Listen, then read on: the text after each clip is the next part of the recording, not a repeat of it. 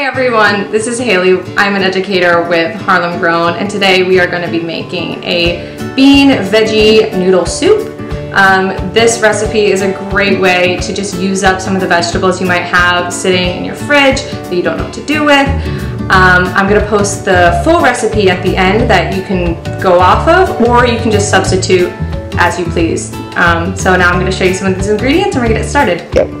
So the ingredients we have for today um, that I was able to find in my refrigerator was diced carrots, um, about a half of an onion chopped, um, some diced bell peppers. I used two and eight chopped cloves of garlic. I also have about a bowl full of spinach. Um, as the spinach goes into the soup while it's cooking, it'll cook down and get much smaller. So you can just kind of use as much spinach as you'd like. I'm using spinach instead of celery because I didn't have any available at the time. Um, but you can also use celery in your dish if you'd like to instead. Um, we also have two quarts of vegetable broth, um, some pasta. I'm going to be using rotini, but penne also works well in a soup like this. Two cans of beans. My favorites are kidney and black beans. You can also make this a three bean soup and add in some um, garbanzo beans. We have some crushed or diced pepper, uh, tomatoes. And we have our seasoning. So what I'm going to be using is rosemary, basil leaves, oregano, and some red pepper flakes. If you don't have all these specific ones, you can always use an Italian blend or whatever seasonings you would like in addition to salt and pepper. So now basically all we need to do for this recipe is add everything into the pot. So I'm gonna go ahead and add my vegetable broth.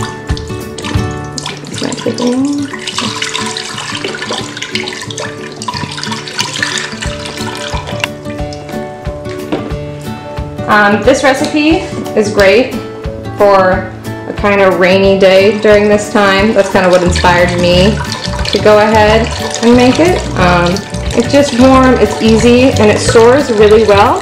Um, it also creates a very, very, very big portion if you want to share it with the rest of the family for a dinner or lunch.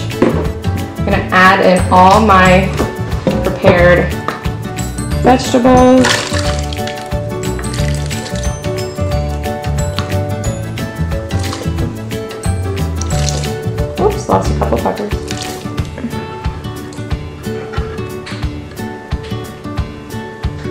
All right, and now we're gonna add in our two cans of beans. Make sure they have been drained and rinsed using a strainer or colander of sorts.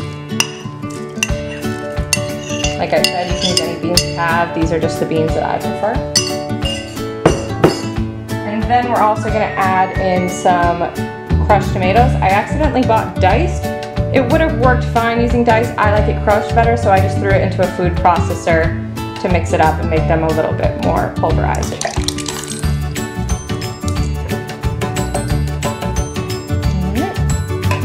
We're gonna go ahead and add our seasonings as well. These you can do to taste. The recipe calls for a teaspoon of oregano, teaspoon of rosemary,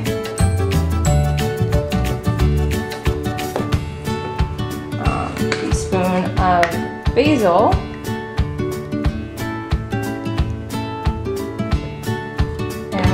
personally going to add a little bit of red pepper flakes because I just like the flavor. But like I said, if you don't have these exact seasonings, you can really just use whatever you have or whatever you personally like. All right, so we brought it over to the stove and we are gonna get this started on a high heat and bring it up to a boil. Once it's at a boil, then we'll lower the heat down and cover it and let it simmer for about 20 minutes until these carrots are tender crisp. You don't want them all the way tender because once the pasta goes in, it's gonna need an additional 10 minutes. So everything is in this for our ingredients except the pasta, the spinach, the salt and pepper. Those you're gonna add with about 10 minutes remaining because those cook, cook, those cook much quicker than the rest of the soup, all right? So I'll check back in once it's at a boil and then we'll bring it down to a simmer.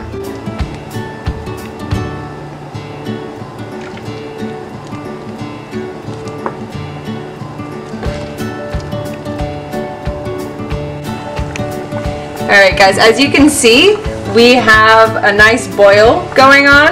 You can tell when it starts to bubble like this at the top, that's when you're at a boil. So what we're gonna do now is we're just gonna lower that heat down all the way to one of the lowest settings and we're gonna bring it to a simmer. So as we lower that heat, it'll continue to boil, but at a less chaotic rate. And I'm just gonna cover this up partially, so I'm gonna leave about a little, little crack open. And it is going to simmer for about 20 minutes, so you can clean up the kitchen, carry on with your day, and check back in just so often to give it a nice stir, see where those carrots are at as far as being tender or crisp, and we'll go from there. So cooking is always kind of a learning process. You kind of figure it out as you go. And what we figured out as we were paying attention is it actually cooked down much quicker than 20 minutes. It really only takes about 5 to 10 minutes to get these carrots and other veggies to a nice tender crisp. So what we're going to do now is we've let it simmer for about 10 minutes and we're just going to go ahead and add about a 3 quarter cup of that pasta. You know, a little bit more if you'd like, but this is already a super full pot and as that pasta absorbs the liquid, it's just gonna get bigger. So we're gonna let that cook for about 10 minutes and then we'll check back in and add our spinach and salt and pepper. So the pasta's been in there for about seven minutes or so. So now we're just gonna add in the spinach. The soup is just about done. The spinach, as you'll see, as you stir it in, it cooks down super quick. So this is kind of gonna be the last thing you do before you just season it.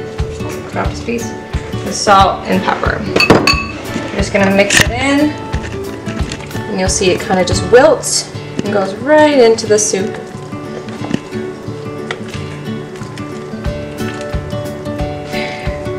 Alright, so the last thing we need to do before our soup is done is season with some salt, pepper.